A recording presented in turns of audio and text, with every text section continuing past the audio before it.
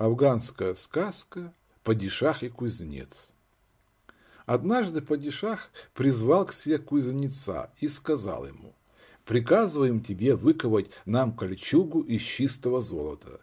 То-то позавидуют нам все падишахи.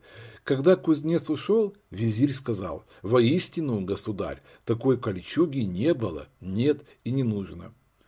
Куда годится кольчуга из золота, если у врагов твоих кинжалы из стали? И обойдется она недешево. «Ну да», — сказал падишах, — «до чего плохо быть повелителем. Ошибиться ему так же легко, как простому смертному, а вот признать ошибку куда труднее». «Единственное утешение», — отвечал визирь, — «что расплачиваются за ошибки повелителя всегда подданные. Вот и ты, когда кузнец принесет кольчугу, подвергни ее испытанию.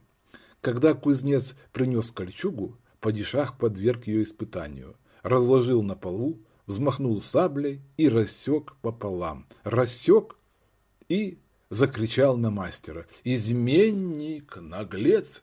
И ты еще думал получить плату за кольчугу, которая не может защитить от удара? Пошел вон!» Кузнец, опечаленный, вернулся домой.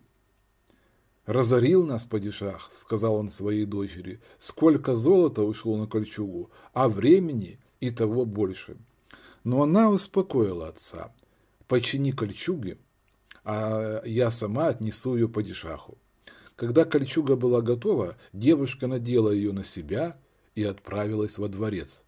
«Вот кольчуга», — сказала девушка, — «испытай на мне ее прочность, падишах». Падишаху, конечно, очень не хотелось платить, очень ему хотелось разрубить и кольчугу, и дерзкую девушку, но не хватило у него наглости.